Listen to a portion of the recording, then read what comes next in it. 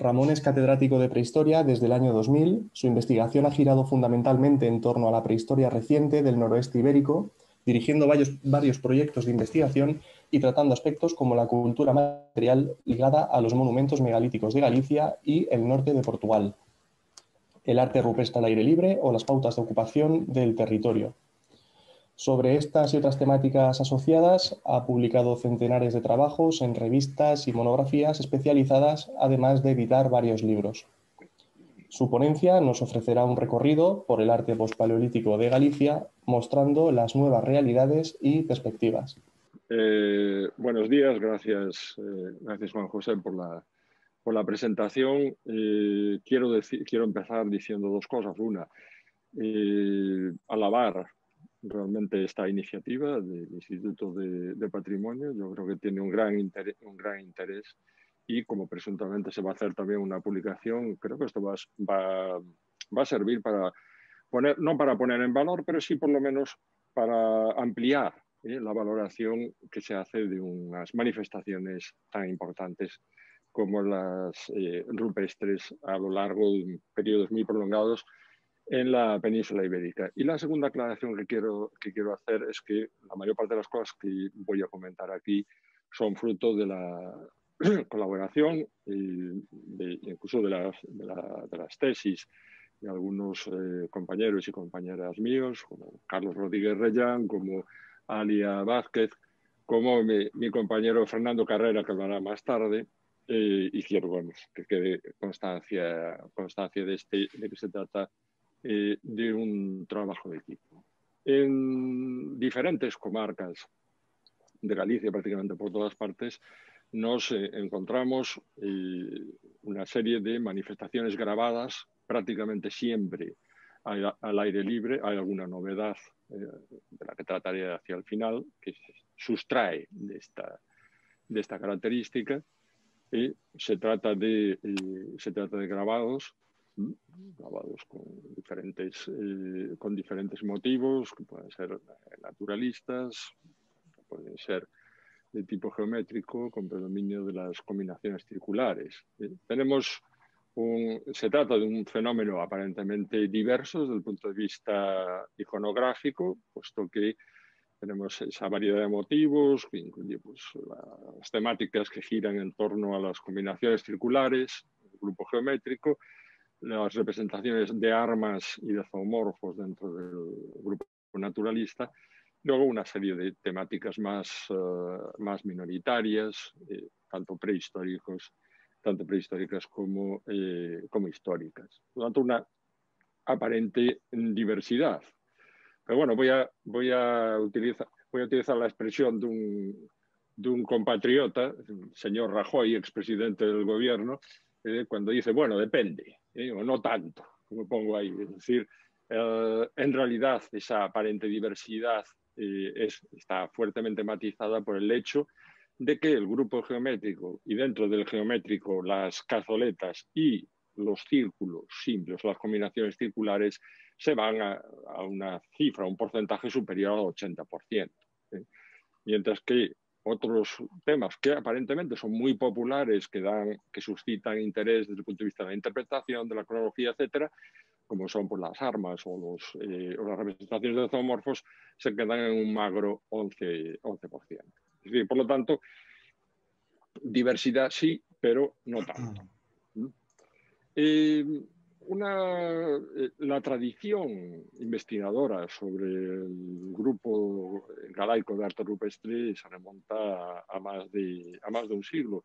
Sin embargo, a comienzos del siglo XXI nos llamó la atención eh, a gente que, estamos, estábamos trabajando, que estamos trabajando en arte rupestre, eh, el hecho de que no dispusiésemos de un, de un catálogo, de un inventario mínimamente mínimamente fiable. Lo que había eran aproximaciones eh, comarcales de tipo, de tipo cuantitativo exclusivamente. Cuando lo cierto es que los, eh, los, datos estaban, eh, los datos estaban ahí, estaban en el inventario de patrimonio que, está, se alberga en la, en la Consellería de Cultura del, de la Junta de Galicia. una compañera que además centró su, tesis eh, sobre la región suroeste, Alia Vázquez, con mucha paciencia a lo largo de bastante tiempo, se dedicó a despojar, a analizar ese, inventario, con el fin de tener una idea más, eh, más cabal, más aproximada del número, la cantidad de uh, petrolíferos que se conocían. Y ahí tenemos esa cifra. 3.362 eh, estaciones rupestres distribuidas, eh, como se puede ver, a lo largo del eh, territorio. No obstante, con cierta heterogeneidad. Es obvia la mayor concentración en la región costera occidental y especialmente en la parte más meridional. Por otra parte, la densidad de los, la densidad de los petroglifos disminuye a medida que nos internamos hacia el interior de Galicia. Decir una cosa, y es que eh, cifra de, con ser alta, de, casi 3.400 unidades eh, estaciones, eh, hay que considerar como un número mínimo. Nosotros creemos, por nuestra experiencia en prospección en varias áreas, que probablemente la cifra no baje de, los, de las 5.000 unidades, ¿eh? lo cual, entre otras cosas, dice que queda bastante por hacer ¿eh? en términos de inventario.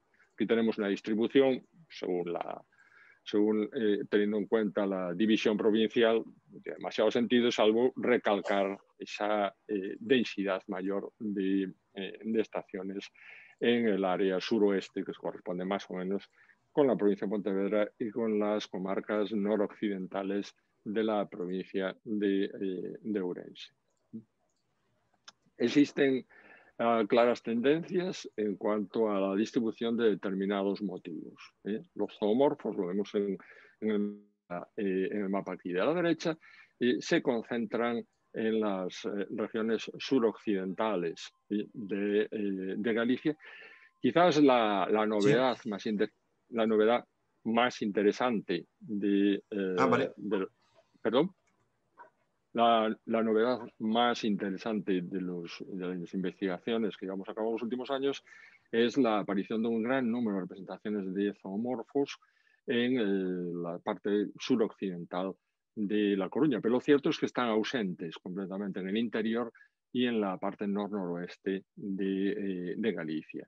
Por otra parte, los motivos geométricos están eh, en todos lados. De todas maneras, eh, se combinan de una manera más compleja en en, de nuevo en las áreas costeras. Y en esas áreas costeras, además, se ve en el mapa, en este mapa de la izquierda, se concentra la diversidad temática, es decir, el número de motivos, la diversidad de motivos en un mismo panel es muy superior eh, en, las zonas costeras y muy en particular en el área suroccidental.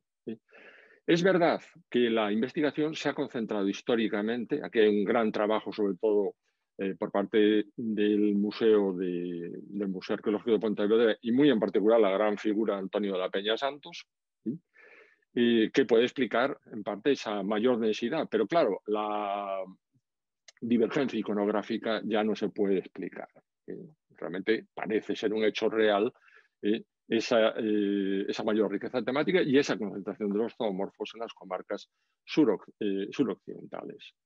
Bien, al margen ya del, de contarse, digo, de contar el número de, estaciones, hay otros aspectos en los que hemos incidido en los últimos, en los últimos años, como es la cuestión de la visibilidad y de la perceptibilidad, términos que a veces se confunden. Por visibilidad entendemos se entiende, obviamente, el área que se puede observar desde un petrolífero, desde un panel grabado. Que tendríamos un ejemplo de ello, en primer término, un petrolífero con combinaciones circulares y el área, la cuenca eh, visual eh, que se domina desde esa estación, eh, aquí marcada. Por otra parte, la perceptibilidad se refiere a la capacidad de ser visto desde el entorno de un petroglifo. Capacidad del petroglifo de ser contemplado efectivamente desde, desde su entorno. Esto es una cosa que a veces, como digo, se ha confundido en los trabajos eh, con el concepto de visibilidad. La perceptibilidad es básica para comprender el papel del arte rupestre en el paisaje prehistórico y también las audiencias, es decir, cuánta que gente podía conocer, podía observar, eh, podía incluso reunirse en torno eh, eh, a un panel grabado. Como digo, ah, no se ha tenido muchas veces en cuenta la importante diferencia entre perceptibilidad y visibilidad en los estudios de tipo espacial realizados sobre el arte rupestre galaico. la perceptibilidad obviamente depende de factores diversos la localización del paisaje. Puede ser un petrolífero que se encuentre en una zona accesible, en una zona remota, puede estar escondido, puede estar más, eh, más visible. En esto influye también el soporte eh, sobre el que se hacen los grabados, el tamaño de ese soporte, la morfología, el, eh, color. Em, por ejemplo, las, hay que decir que los soportes en la inmensa mayoría de los grabados rupestres gallegos son, es granito. Pero el granito puede presentar pátinas diferentes. Aquí vemos dos ejemplos. Si nos fijamos en la, izquierda, un ensayo de, grabado, el contraste entre la parte que ha sido golpeada, que ha sido percutida, y la, y la superficie de la roca es muy inferior a la, al ejemplo de la derecha, en donde el granito tiene una, pátina muy oscura y entonces el, eh, grabado pues, resalta enormemente. O cuando se da, bueno, esto obviamente, esto no fue un ensayo hecho por, nosotros, sino alguien que cerca de un petrolífero prehistórico se dedicó a grabar esta representación de la Virgen, pero bueno, que nos sirvió para ver el gran contraste entre un granito que se encuentra fuertemente meteorizado en su interior frente a la pátina exterior de color eh, grisáceo. Evidentemente, estas cosas tendrían su incidencia en cuanto a la perceptibilidad de los, eh, de los grabados. El panel grabado depende también de las dimensiones o la inclinación.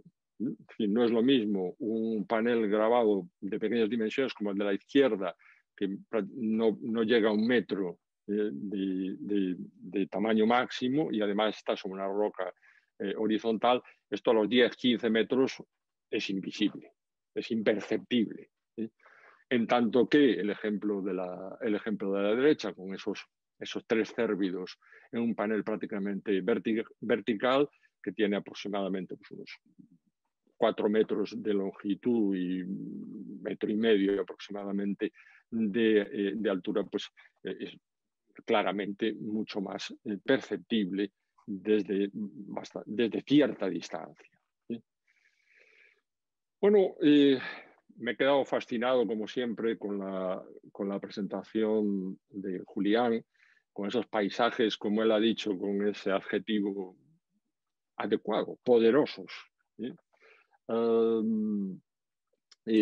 muchas veces, bueno, con esos grandes roquedos desnudos. Esto es una circunstancia que en Galicia se da, eh, se da solo de manera aislada, ¿eh? en, roquedos, en, pequeños eh, afloramientos, pero normalmente aquí tenemos una cobertura vegetal que uniformiza terriblemente el paisaje y que hace muy difícil la contemplación de la, ubicación de, los petrolíferos. En este sentido, nuevas técnicas como el LIDAR nos han venido a, han venido a revolucionar los, los, estudios de, en torno a la localización y la distribución de los, de los petrolíferos. Aquí tenemos, esto se corresponde con los trabajos que estuvimos haciendo en la península de Barbanza, los puntos rojos son los, los petrolíferos, bueno, sin la vegetación, pues la verdad es que se hace una idea mucho mejor de la topografía local. Y esto viene eh, a cuenta de, una, mm, de unos estudios en los que hemos incidido diversos investigadores desde los, años, desde los años 90 que tienen que ver con la localización de los petrolíferos en relación con las rutas de tránsito, las rutas naturales por las que se desplazaría la gente por el paisaje. Eh, siempre se ha hecho bastante incidencia en este, en este factor, Aplicando, eh, aplicando técnicas de, estadística espacial, eh, esto hay que, lo hemos matizado en los últimos, en los últimos años. Aquí vemos las, eh, las zonas marcadas en verde son las que se dominan desde esas rutas naturales. Podemos observar cómo algunos petroglifos ciertamente se encuentran en la cuenca visual de la que dispondrían los caminantes, todos estos. Pero hay un número importante de, eh, de petroglifos que se encuentran fuera de este ámbito visual, que son imperceptibles desde esas eh, rutas de tránsito. además, por otra parte, hay que tener en cuenta los factores que he mencionado antes. ¿eh? En realidad, si se fijan ustedes en la, en la escala, hay que tener en cuenta, por ejemplo, un petroglifo como este estaría a los 150 metros. Casi con toda seguridad no es perceptible, al margen de encontrarse en la, cuenca visual. ¿Qué nos dice esto? Bueno, pues que hay, como decía, que hay que matizar un tanto esa, idea de, ah, los petroglifos como marcadores o como marcadores en particular de, las, zonas, eh, de las zonas de tránsito y quizás habría que recuperar una idea más de una geografía cognitiva, ¿eh? más que de una geografía empírica o factual con la que se relacionarían los, eh. Bueno, más cosas. Contencioso, le he llamado así. La lectura y la interpretación. Los, eh, los petroglifos son en general difíciles de ver. Eh, son grafismos que están sobre soportes a libre, muy meteorizados, muy, muy erosionados. Eh, tenemos aquí dos, dos ejemplos. Se trata de zoomorfos, realmente pues, te rompes la cabeza, o te rompías la cabeza eh, intentando pues, leer esos, esos paneles y había pues las lecturas con frecuencia eran bastante incompletas o son todavía en muchos casos bastante incompletas. Aquí ha venido a ayudarnos enormemente las técnicas de fotogrametría y de, modelado tridimensional. Tenemos unos ejemplos. Esto es, tontería de una, de una tesis de, que dirigimos Carlos Rodríguez Reyán y yo eh, de una colega, Alia, eh, Vázquez, y que nos ha permitido pues, eh, realmente ver mucho más en torno a los grabados, a las representaciones que se encontraban en los paneles. Esto, pues, aquí vemos, por ejemplo, un calco hecho con luz artificial por nosotros mismos hace ya unos años, ya que ya fue publicado en su momento, y eh, a, la, eh, a, la, derecha pues el resultado de la, de la, fotogrametría. Bueno, no está mal, de todas maneras, eh, pues se nos escapó, por ejemplo, aquí esto, pero sobre todo lo que nos permite mucho mejor es ver el, el contexto a nivel micro de, uh, de los grabados, en este caso de un idoliforme acompañado de un, de un puñal y debajo un, zoomorfo. Otra cosa eh, que gracias a la fotogrametría podemos eh, empezar a apreciar son, las, son superposiciones. ¿eh? por ejemplo, aquí esto ya se conocía cuando se hizo el cálculo con luz artificial, esta roca número 2 de los mouchos, pero la fotogrametría nos ha permitido desvelar la existencia, aparte de fragmentos que no se habían detectado.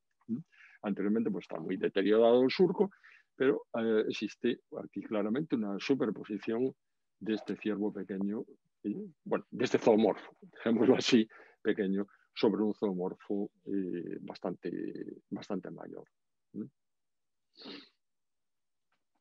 Otro contencioso, eh, la cronología. Claro, el arte al aire libre, el arte grabado al aire libre no es susceptible en principio de dataciones numéricas.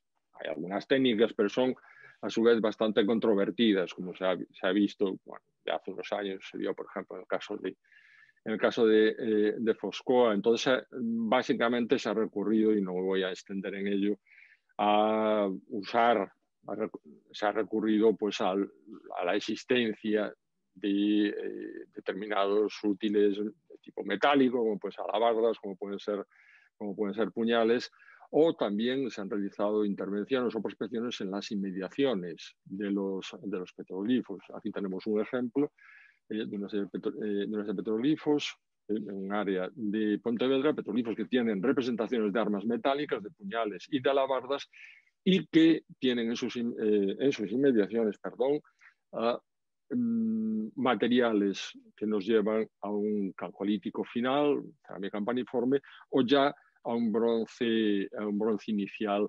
avanzado y que se encuentran en, la, en el entorno inmediato de los petroglifos. También en intervenciones al pie de algunos petroglifos se eh, pudieron encontrar restos, indicios de actividad y eh, hacer un puñado de dataciones. Aquí tenemos una combinación, un ejercicio combinatorio sobre los rangos de calibración eh, de esas fechas que básicamente nos hablan de un núcleo de un núcleo de la, eh, de la acción grabadora que se encuadra entre el tercer milenio, años calibrados, y los inicios del segundo, del segundo milenio.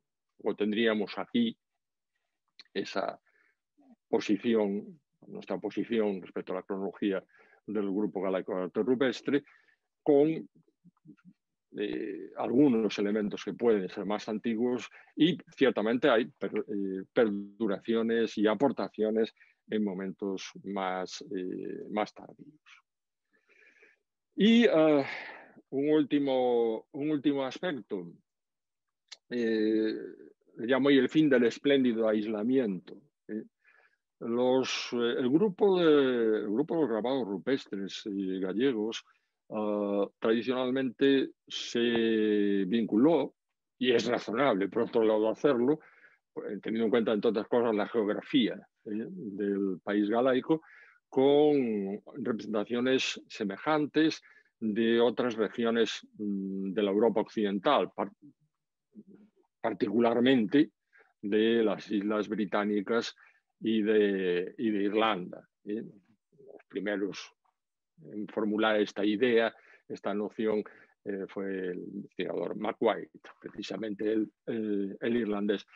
Eh, en mi opinión, esto a mí, sin discutir obviamente el atlantismo, y no solo del arte rupestre, sino de otros aspectos, digamos, la, existencia de conexiones atlánticas, incluso muy antiguas, que se remontan al menos hasta el neolítico, entre el mundo galaico y el mundo pues, bretón de la Bretaña francesa o de las, o de las islas británicas, eh, yo creo que a veces hemos tendido los investigadores a olvidar que a fin de cuentas Galicia, mientras no se produzca un terremoto o no se abra una falla eh, que nos separe del resto de la península ibérica, pues eh, forma parte efectivamente de esta, de esta península, que es una península, por cierto, como todo el mundo sabe, mediterránea, la última península mediterránea, la más, la más occidental. Y a mí siempre me, hizo sentir un poco incómodo el hecho de que a veces da la impresión como que los petroglifos estaban en una isla. A mí me parecía, me pareció, y lo hemos defendido en trabajos, que había algunos elementos esquemáticos, por ejemplo, eh, que se podían detectar en el repertorio iconográfico de los petroglifos galaicos. Pero es verdad, la, pintura, el arte esquemático, no lo encontrábamos en Galicia, en particular la pintura era inexistente, aunque en los últimos años nuestros colegas portugueses sí habían detectado en la región transmontana toda una serie de abrigos con, eh, con pintura escribible ¿eh? a, ese, a, ese mundo, a ese mundo esquemático. Pues bien, ah, en, fechas, eh, en fechas muy recientes se encontró un, abrigo que además aquí en Valeira, un abrigo Cova dos Mouros, que además pudimos, pudimos excavar, está pendiente de documentar en detalle. Es una cosa, una espina que tenemos clavada ahí, eh, Fernando Carrera y yo, eh, documentar el, el, detalle, el arte, las pinturas que allí se encontraron. Y luego ya casi inmediatamente eh, se encontraron otros dos, hay un tercero, como mínimo, abrigos también con pintura esquemática más al sur, estos ya estarían más próximos a la zona transmontana donde ya se conocían con, eh, con, anterioridad. Es un abrigo, en el caso de Cova Mouros, que es al que me referiré, eh, un abrigo eh, cuarcítico en una ladera, encontramos pues, pintura, pintura roja con estos motivos de tipo biangular,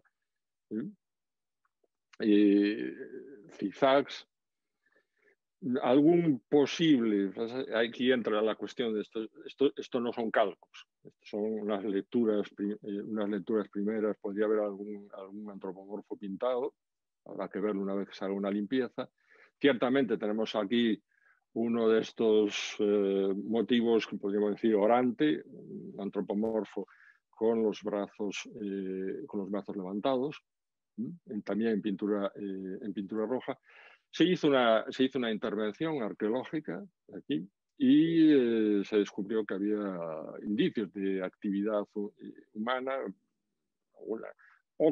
pocos, eh, pocos restos arqueológicos, algunas cerámicas que se inscriben, que se inscriben grosso modo en ese mundo del neolítico medio, esa tradición megalítica, si se, si se quiere, como este, este vaso hemisférico, alguna industria poco, alguna industria lítica pues, no particularmente diagnóstica. Afortunadamente había eh, repetidos indicios de incendios que nos, eh, que nos permitieron datar, eh, grosso modo, posiblemente la actividad prehistórica desarrollada aquí entre los inicios del cuarto milenio antes de Cristo y la transición del tercer al, eh, del tercer al segundo milenio.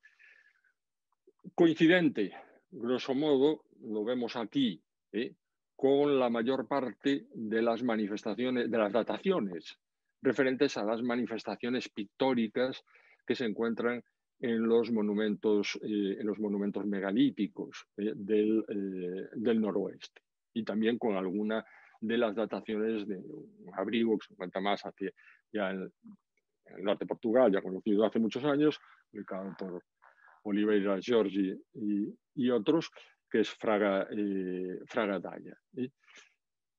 Esto plantea una cosa, y ya voy a, ya voy a terminar antes de que me amenacen con que el tiempo se acaba, eh, esto tiene que ver con una cuestión que también nos ha importado bastante, nos ha interesado. Fernando, y, Fernando Carrera y yo incluso lo tratamos hace un par de años en una, conferencia que dimos conjuntamente en Boiro, que es la existencia de intercambio, eh, de una cierta osmosis iconográfica entre el mundo esquemático, el mundo de los petrolíferos y, el, ah, y la iconografía que se encuentra a, veces en las, eh, decorando, grabando, pintando los monumentos megalíticos.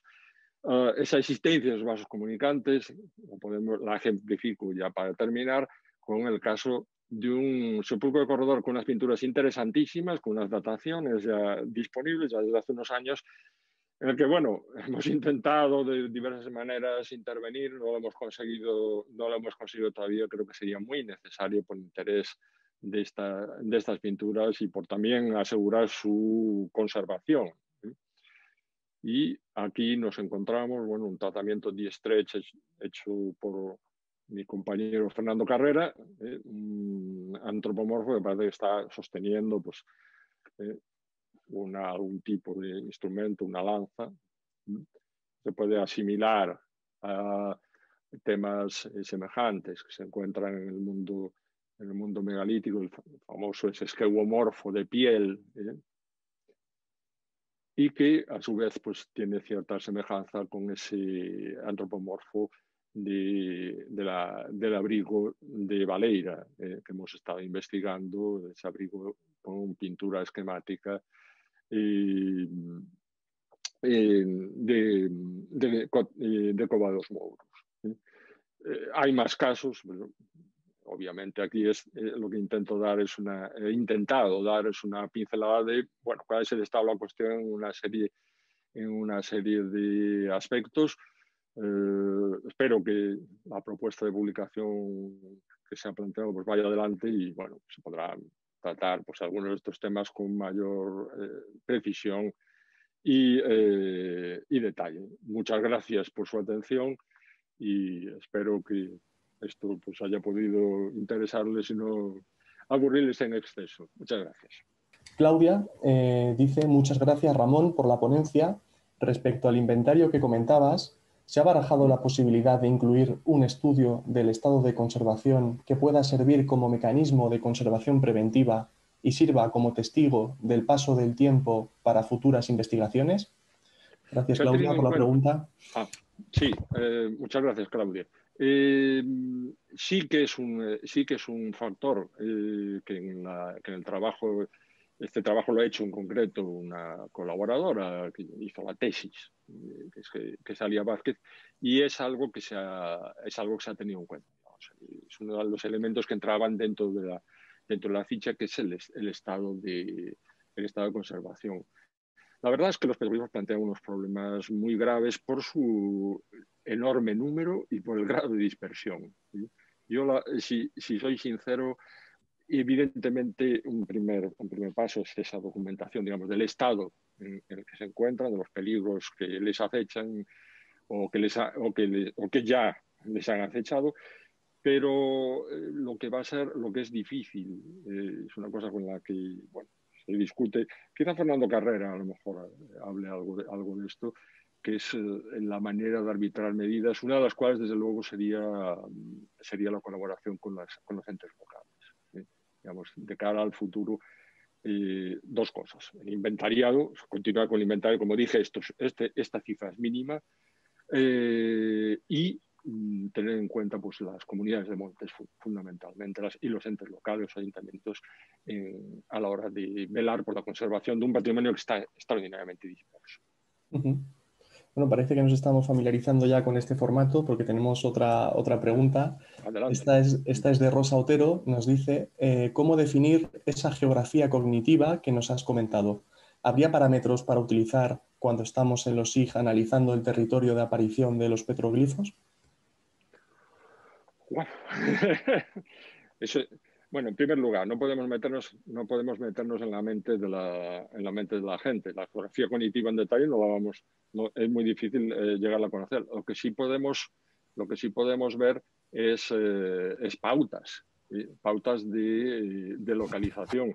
Antes Julián nos, nos mostraba un sitio un sitio, varios sitios, pero uno en particular que siempre me ha llamado mucho la atención, que es la Peña de los Enamorados en, Antequera.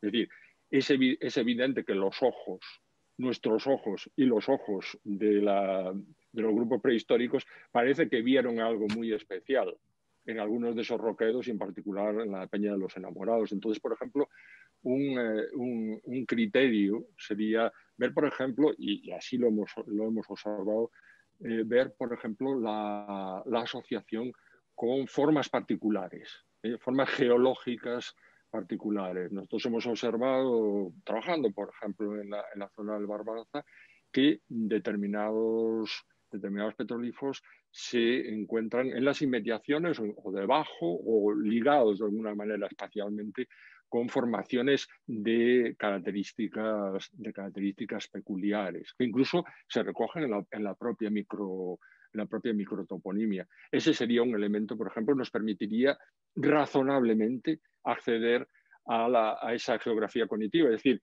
elementos que nos llaman la atención y que aparentemente también llamaron la atención y atrajeron la voluntad, en este caso, grabadora o consagradora eh, de, determinadas, determinadas rocas eh, por, parte de los, eh, por parte de los grupos prehistóricos. Otra cuestión también, Hombre, habría que ver el tipo de actividades que se desarrollan en las inmediaciones de los petrolíferos, su relación, por ejemplo, que es algo que se ha estudiado por parte de distintos colegas con otro tipo de yacimientos, como pueden ser los lugares de asentamiento o los, eh, o los túmulos.